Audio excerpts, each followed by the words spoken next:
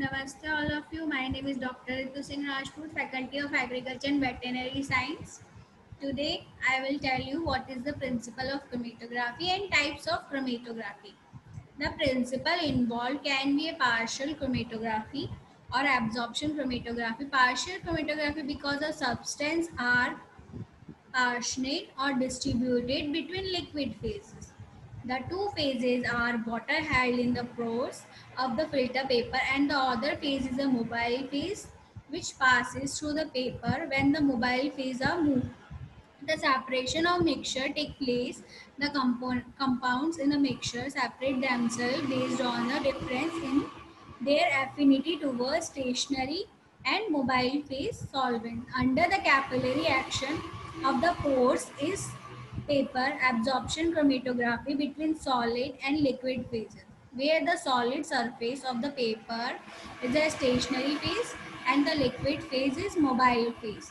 Paper, what is a paper chromatography? A procedure selected suitable type of development in the decided based on the complexity of the solvent paper mixture. Usually ascending type or radial paper chromatography used as they are easy to perform also it's the easy to handle. The chromatogram obtained in a faster and process in the less time consuming selecting suitable filter paper select selection of filter paper is done based on the size of the pores and the sample quality. Prepare the sample. Sample preparation includes the distillation of the samples in a suitable solvent with the sample analysis. Spot the sample on the paper, then further chromatogram development. Chromatogram development is spotted by the immersing. The paper is the mobile phase. Due to the capillary action of the paper, the mobile phase move over the sample on the paper. Paper drying and compound detection. Once the chromatogram is developed, the paper is dried using an air dryer. Also detected solution can be sprayed on the chromatogram. Develop paper and dry to the identify sample chromatogram spot.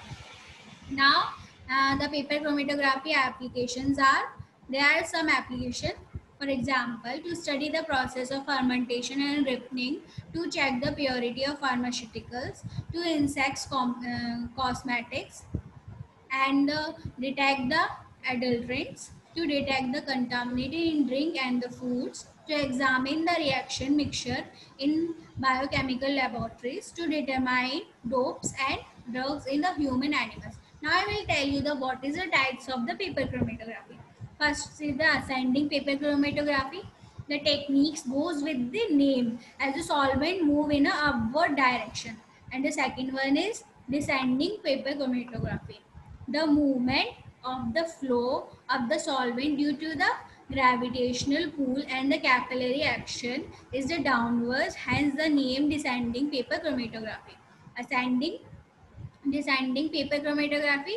In this version of paper chromatography, movement of the solvent occurs in a two direction after a particular points. Initially, the solvent travels upwards on the paper which is the folded over an a road rod and after crossing the road is uh, continuous with its travel in the downwards direction and the fourth one is radial and circle paper chromatography the sample is deposited at the center of the circular filter paper. When the spot is dried, the filter paper is tiled horizontally on the petri dish which contain the solvent. The fifth one is two-dimensional paper chromatography. Substances which have the same R value can be resolved with the help of the two-dimensional paper chromatography. So this is all about the paper chromatography. Thank you.